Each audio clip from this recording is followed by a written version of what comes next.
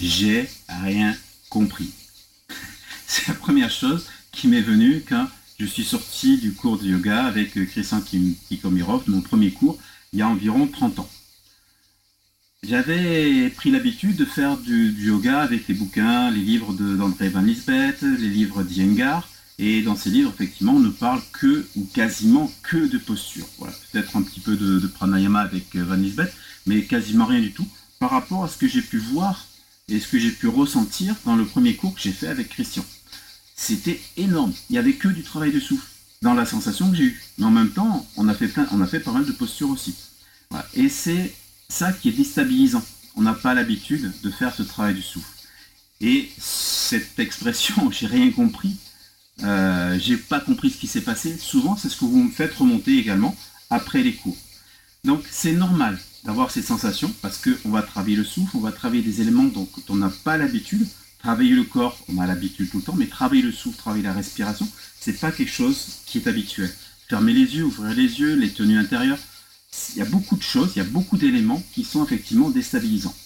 En même temps, c'est ce que je me suis aperçu, mais aussi regardez ce que vous allez voir, ce que vous, percevez vous-même, c'est que euh, à la fin du cours, à la fin d'une heure de cours, il y a tellement de choses auxquelles vous devez penser qu'en fait, ben, vous n'avez pas pensé à autre chose.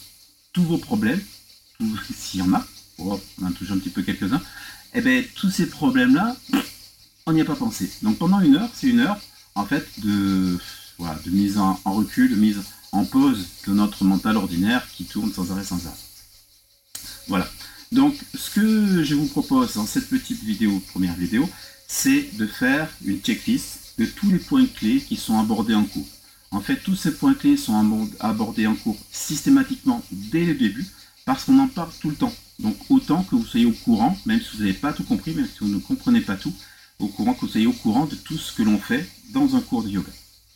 Ensuite, ce que je vais faire, c'est point par point. Je vais faire des petites vidéos assez rapides aussi, et dans lesquelles je vais détailler et expliquer d'une manière un peu plus profonde, un peu plus approfondie, ces différents points.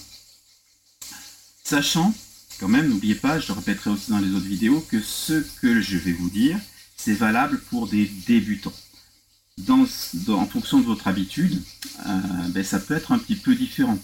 Voire même, dans certains cas, ça peut être l'opposé. Par exemple, un débutant va lui dire d'exagérer les amplitudes, l'amplitude du souffle au niveau du ventre, et à quelqu'un d'avancer, on va au contraire lui dire de tenir un peu plus son ventre, de tenir le, de verrouiller le ventre. Donc dans les points clés qui sont à mettre en place, le premier c'est ce qu'on vient de voir, ce dont je viens de vous parler, c'est le souffle. On va essayer d'avoir essentiellement une respiration abdominale. Donc essayer de respirer essentiellement par le ventre. Respirer par le ventre, ça veut dire arriver à dissocier la respiration ventrale de la respiration thoracique. Ensuite, dans les, pratiques, on va avoir des tenues. Donc vous verrez, on en reparlera plus précisément. Le yoga est censé s'adresser au corps énergétique. Donc on va avoir des tenues par rapport aux différents points de fuite. Et on a deux gros points de fuite on en a un en bas et un en haut. La pointe de fuite du bas, c'est au niveau de l'anus. Donc on va avoir en permanence une tenue d'anus. Donc je parle de tenue, je ne parle pas de crispation. Donc ce qu'on appelle plutôt dans les cours la tenue de la base, ou pour ceux qui connaissent, le moula banda. Donc légère contraction au niveau de l'anus. Ça, ça doit inciter à se redresser et à s'étirer. Donc on va essayer de ne pas être complètement avachi. Le fait de ne pas être avachi va nous aider également pour avoir une meilleure respiration. C'est-à-dire que si on est complètement dans cette position, le ventre, la poitrine se mélangent.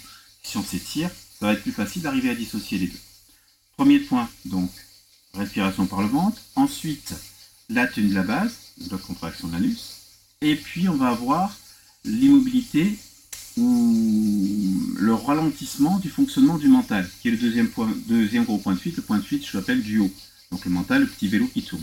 Donc, première chose, les bras tendus. Et souvent, on va avoir les bras ou les, pardon, les, doigts, les doigts tendus ou dans cette position ou dans cette, dans cette position. Donc soit les mains, paume de main vers le haut, par exemple dans les capes à la bâtie, dans les souffles rapides, ou paume des mains accrochées aux genoux, dans les souffles respiration complète, ou dans les, ce qu'on appelle dans les bastricas. Ensuite, on va également avoir la langue qui est retournée, donc le dessous de la langue au palais, et on pousse loin derrière, en essayant de sentir un petit peu que ça tire sur le frein. On va garder le sourire, tant qu'à faire, c'est pas plus mal. Et puis on va aussi immobiliser les yeux. Donc pour ça, on lève les sourcils, on ferme les paupières et on converge à un point, la racine des cheveux, ou le plus haut possible. On essaye de loucher tout en haut. Après, en fonction d'habitude, on va rajouter une visualisation. Donc il y a deux types de visualisation principales.